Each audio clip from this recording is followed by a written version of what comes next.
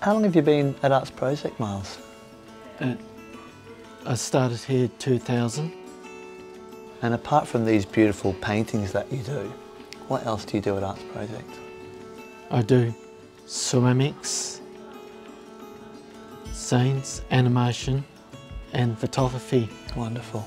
In the map, in the picture, um, and in Melbourne, what are they building at the moment? Uh, the metro tunnel. Can you tell us a little bit about that?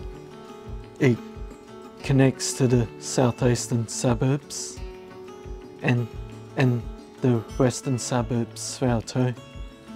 And um, can you tell us about the the outer rail line here? The suburban rail loop. So that hasn't been built yet. Uh, no, It's pretty excellent that you've done a map of the future. yeah. Can you tell us about some of the people that you've pictured here in the map? Three of them in sunshine went to the movies and having food in the food court and looking in the clothes store. And another one's having pizza and coffee. And another person having coffee and donuts with a magpie watching. And that little girl and person looks like it's going to the footy with a magpie flying beside it. And people riding the when the train's up in Eltham. Person having coffee in the croissant. And someone's having duck and rice and green tea.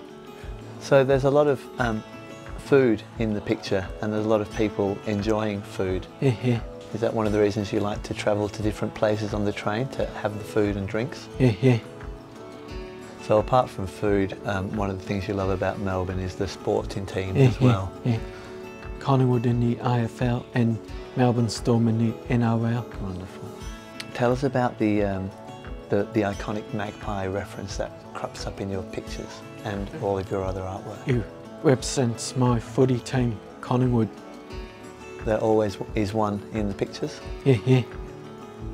As you make your artwork without using reference material, do you want to talk a bit about that?